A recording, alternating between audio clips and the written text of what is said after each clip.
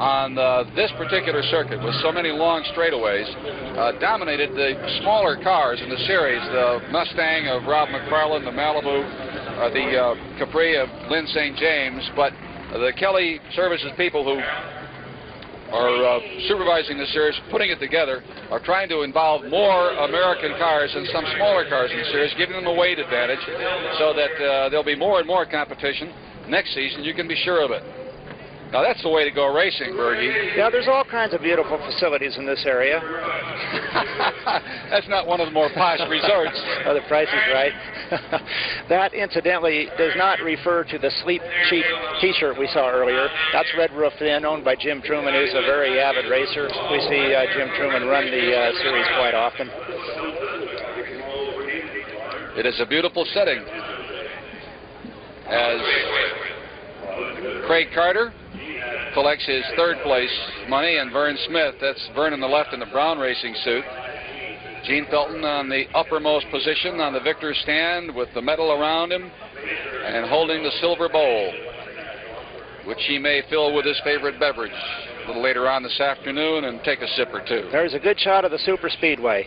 The track is around on the white wall that you see in the furthest distance. There is a little track in the infield right behind the garages. That has nothing to do with the main race track.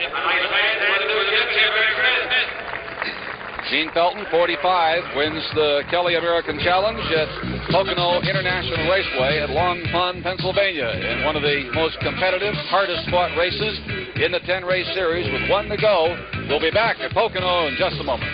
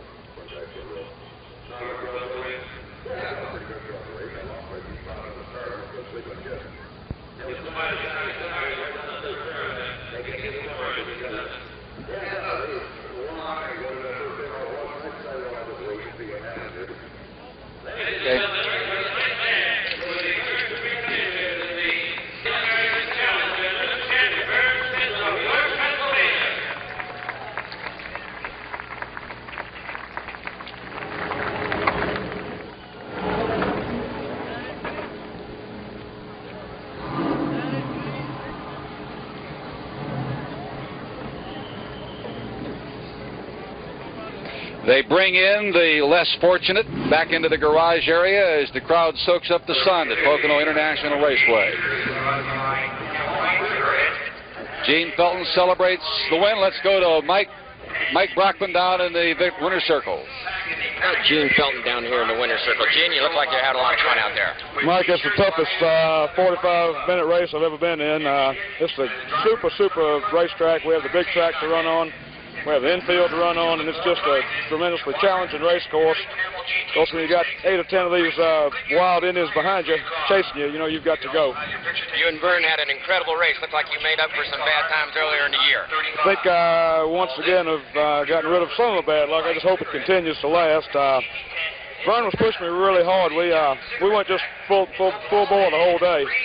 We uh, I don't think either one of us ever lifted anywhere we didn't really have to. We went into the banking down there just flat to the floor and, and held it all day long, it seemed like. Gene, it was an incredible race. Terrific. Well, we certainly enjoyed it. Okay, our congratulations to Gene Felton with a charming smile and a very heavy right foot. Felton wins it. Vern Smith clinches the Kelly American Challenge Series Championship. And Mike Brockman's with Vern Smith down in uh, Winter Circle, Victory Lane. Vern, you won the championship and you had a heck of a race, didn't you? Yeah, it was a lot of fun. Gene and I had a real good race in California earlier in the year, and I managed to win that one, but he he won this one today. But they were both good races. We were both driving hard. Uh, I was happy with the results. Uh, I lost my, I was having to double clutch all my shifts at the end, which is why he got a good lead. But I'm not sure that I would have been able to beat him anyhow. He was so darn close. It was a terrific race, the kind of fans like to see. It was a great show, and we're real happy you won a championship. Thanks a lot. Good.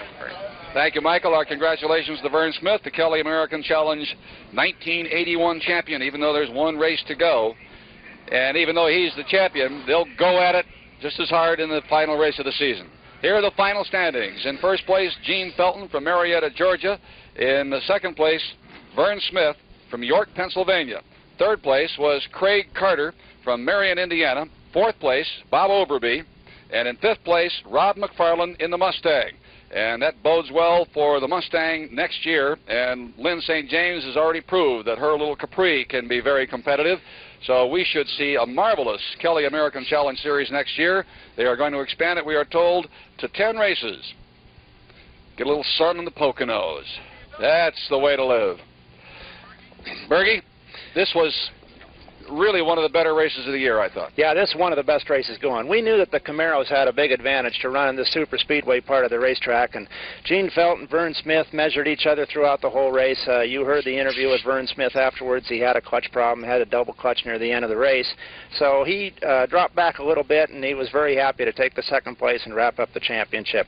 Craig Carter, who we didn't see a whole lot of today, ran a very strong third. He and Bob Overby had a very strong race halfway through the race and then settled into the third and fourth position. And Rob McFarland brought the small engine Mustang home into fifth place. If they can run a Mustang and run fifth at this track, it gives you an idea what they'll do when they get into the short, tight tracks and they get a little more development time in that car. They'll they'll be very strong. An impressive job of preparation, I, I think, Bergie. Uh, these big, heavy Camaros, 4,000-pound cars, handling that tight road section so well.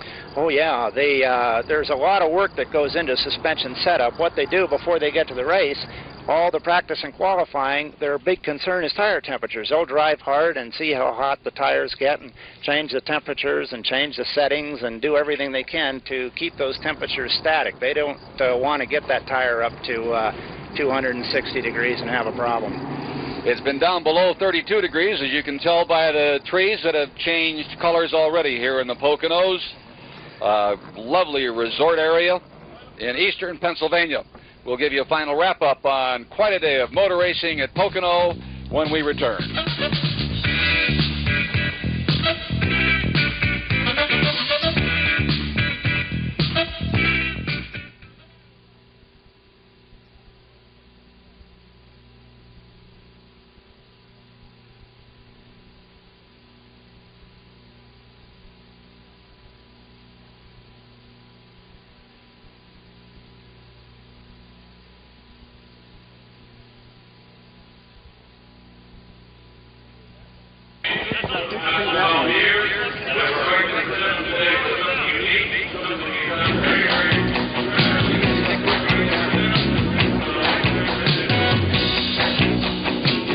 That's the story of the Kelly American Challenge at Pocono International Raceway. We've had two winners today, Bergie. Gene Felton wins the race, and Vern Hello. Smith wins the championship, and you've got to be very happy for both guys. Oh yeah, I'm happy to see Gene Felton get back on the winning track. You know, he dominated this series last year, and we've watched him in some of the previous races. And for Gene Felton, those early races were real throwaways. It just everything went wrong, but he sure had it together today. Never, nobody ever questioned his driving, Tellen. It was always mechanical trouble that bit Gene Felton, and he apparently has gotten rid of the gremlins. Felton wins it. Vern Smith finished second in a very, very good race earlier. We brought you the Champion Spark Plug Challenge. Jim Downing won that and moved into first place in the series standings. And that championship will not be decided until the final race of the year, as the man who was in the lead in the series standings, Roger Mandeville, got bumped in turn one 13 minutes into the race and was knocked out of the race. Downing won the champion race. Cal Choquette, his best finish ever in the champion series, finished second, and Irv Pierce, both of them driving Spirits. Pierce finished third. That's the best finish ever in this in the champion series for the driver from Southern California. Mike Brockman, it was pretty quiet down in the pits, which is a good sign in terms of the preparation of the cars and the way that these guys drove them. These races are, that's really true. These races are only 45 minutes long, and if we have much pit, pit action, then uh, it pretty much takes them out of the lead. Glad to see they weren't in here, and it ran an incredible race. It was real exciting from my point of view, and uh, just happy they didn't have to spend a lot of time in the pits. Michael, uh, the track seemed to stay in very good condition, too. Yeah, the drivers I've spoken with since the race said that the track was very good, and they had no problems at all. It's just narrow in the infield and very fast on the banking, and they like that. Mike Brockman knows all about that, so does uh, Bergie, my buddy up here. Both of these guys are race drivers. As for me, the only racing I do is on the Hollywood Freeway. which is probably the most dangerous kind of all. We'd like to thank the folks at Pocono International Raceway, Dr. Mattioli and his crew. They did a marvelous job making it easy for us. Also, our thanks to a tremendous crew, great camera work. The, everybody just did a, a sensational job. The official outfitter to Cinevid Productions is Jantzen, America's favorite supplier of swimwear, sportswear, and sweaters for more than 70 years. Nobody knows bodies better than Jantzen. That's the story from Pocono International Raceway. We sure hope you enjoyed it. Drop us a line. We'd like to, to hear from you. This is the way the Kelly race came out with Felton in first, Vern Smith second, Craig Carter third, Overby was fourth, and Rob McFarland finished fifth. A beautiful day for racing, and beautiful racing it was. We thank you for being with us. We'll see you again real soon.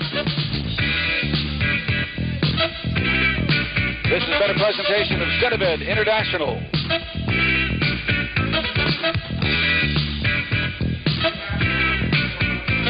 With and an ESPN presentation. ESPN, the Total Sports Network. I'm Bob Steinbrink. Good afternoon.